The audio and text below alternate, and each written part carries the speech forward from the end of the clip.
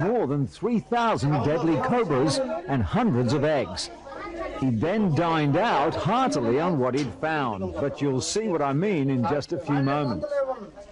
Residents and police said snake charmer Dudu Mia captured thousands of young cobras at two houses in Narayanganj near Dhaka. Mia was called in by resident Mantu Kasai after his wife found two large cobras on their property. The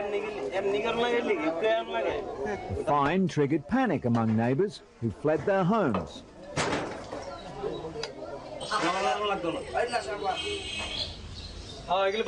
But for a practiced snake charmer for 43 years, catching the snakes was child's play. Helped by his assistants, he dug underneath the floors of two houses and unearthed a slithering stockpile of thousands of snakes. After counting his catch, Mia set out to prove to villagers that he's truly the master of the slimy serpent.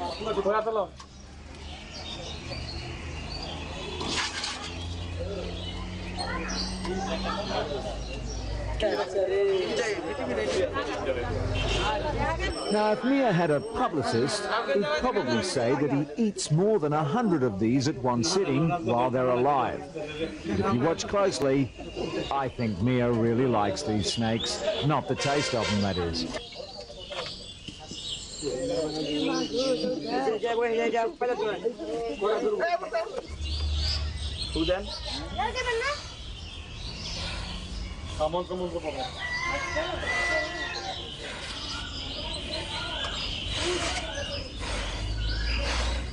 The theatrical Mia says that eating serpents in such quantities sometimes gives him hallucinations, but he always sleeps well after he's digested the reptiles.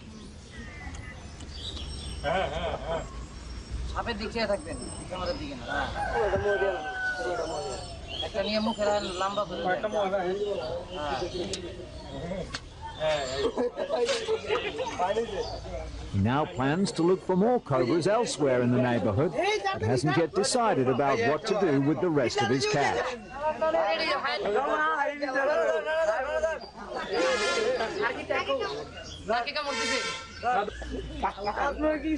That's got to hurt.